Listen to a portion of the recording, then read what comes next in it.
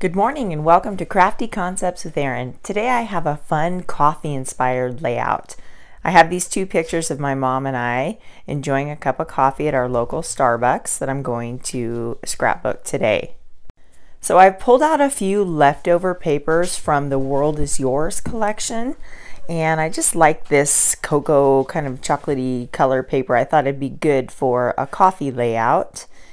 And then I have this fun stamp called My Cup of Tea. So even though it's a tea theme stamp, I thought, oh, that's a perfect coffee cup. Why not? So it's a really cute stamp. There's all, there's you can stamp the saucer separately and then there's sentiments that would make really nice cards or fun quotes on a page. This here is the coordinating thin cut die, which you don't have to get, but it just makes things really uh, quick and easy. So let's get started with this layout. I have a sheet of white daisy cardstock and then this is, excuse me, the mint cardstock that I'm going to trim down to 10 by 10 and I'm going to put it on an angle just to add some interest and sometimes it's nice to not always have straight lines on your page. And then I want this um, espresso patterned paper to be my main piece behind my photos here. So I'm going to trim this down. I want it to come almost across the page, but not all the way. Ah, I'm losing my voice this morning. So I decided I cut that a little bit too short and I don't want that much of the mint cardstock showing on the bottom of the page. So I'm going to fix that with adding a strip down at the bottom, which you'll see me do here in just a moment. And then you can see the seam, which bothers me. So I will take a handy zip strip and just uh, camouflage that and no one will ever know. So I've put a few drops of re-inker into my spray pen and I want to give that look of kind of coffee splattered on the paper. So I've diluted it with water a little bit to make it lighter. This is actually the cocoa color which is retired but they have espresso now which is really similar.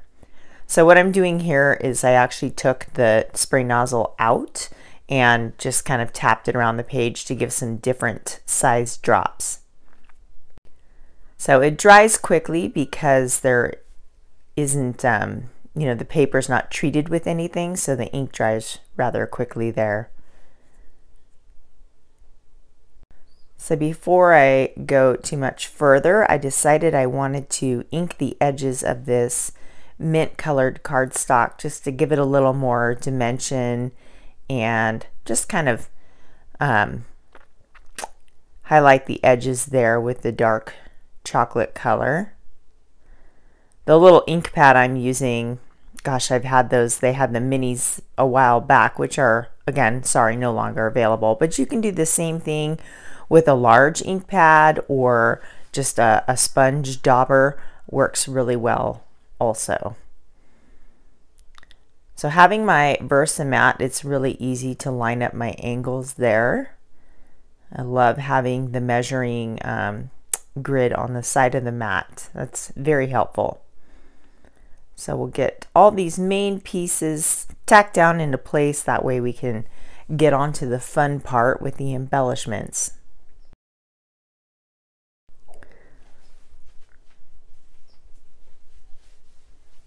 I've printed these photos in two and a half by three and I printed them with a white border already on there.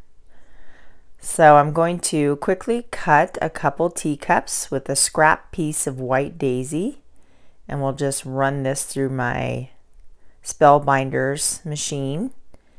And I know I want two teacups on this um, layout, so we'll just make a second one there. So quick and easy.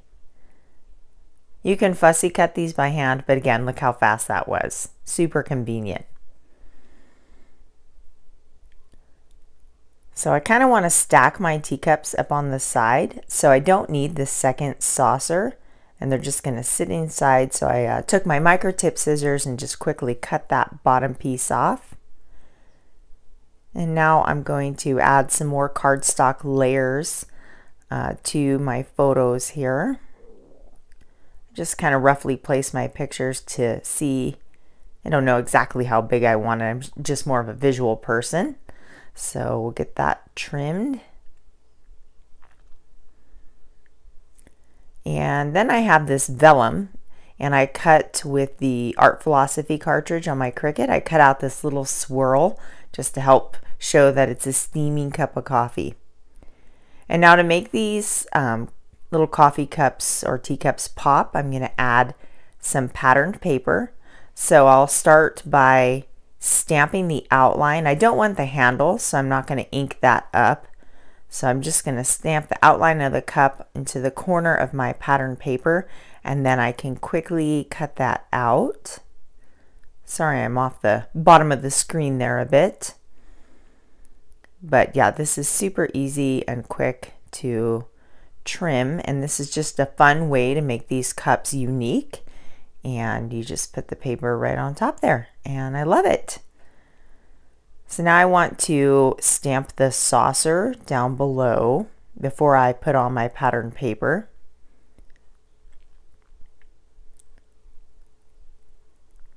So I chose a um, chocolate or excuse me, cocoa ink to do that. And I'm thinking about putting some of these sentiments on the cup up there, but I decide that, well, they don't really fit my layout, so I opted not to do that. I'm going to trim um, this gray pattern cardstock for this second teacup. And again, I've disappeared off into nowhere. But now I'm back. Yay! Okay, so it's you can just stamp the teacups plain um, or add the paper and just make it really um, unique and dress it up that way.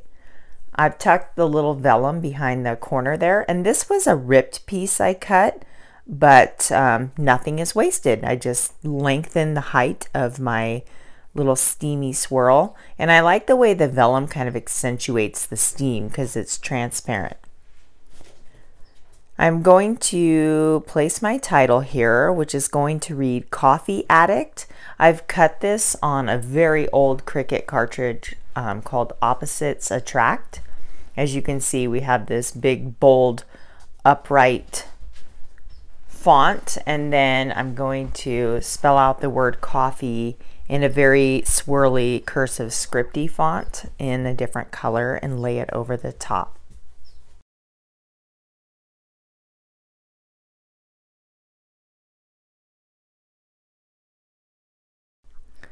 So this um, font is really tiny, or I've, I've um, cut it on my Cricut really tiny, so it's a little bit difficult to use the adhesive on. So I went ahead and ran that through my Xyron sticker maker.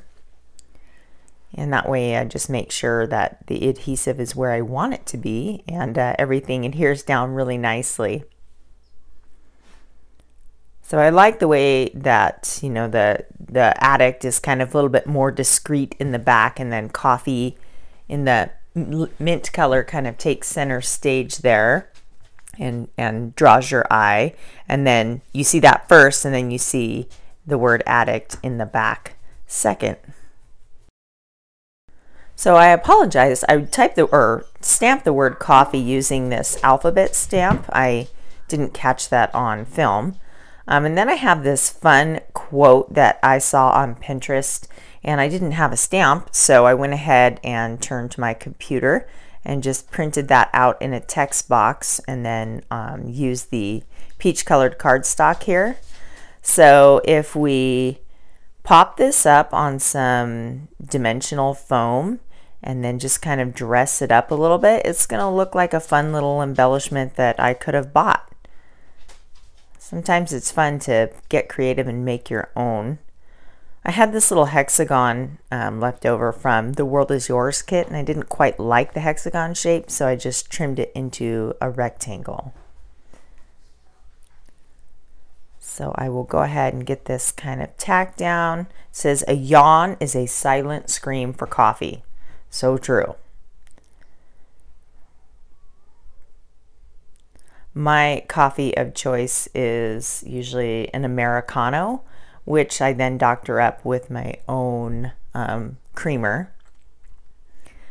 Um, this is the little coffee cup I cut from the World is Yours Cricut, not World is Yours, excuse me, the You Are Here Cricut cartridge.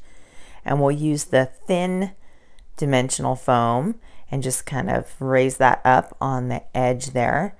And then we have a few stickers left over from the World is Yours sticker sheet.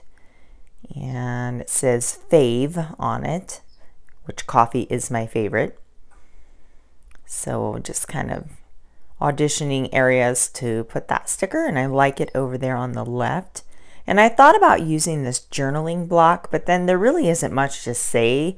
Um, so I end up just stamping the date later and omitted that. So here is the finished layout and I hope you guys are feeling inspired and I just wanted to show you fun ways that you can turn this teacup set into a coffee themed layout. Check out my blog at craftyconceptswitherin.com to see some other projects I made with this cute stamp set. And be sure to click like and subscribe so you don't miss the upcoming videos. Thanks for watching and I'll see you next week.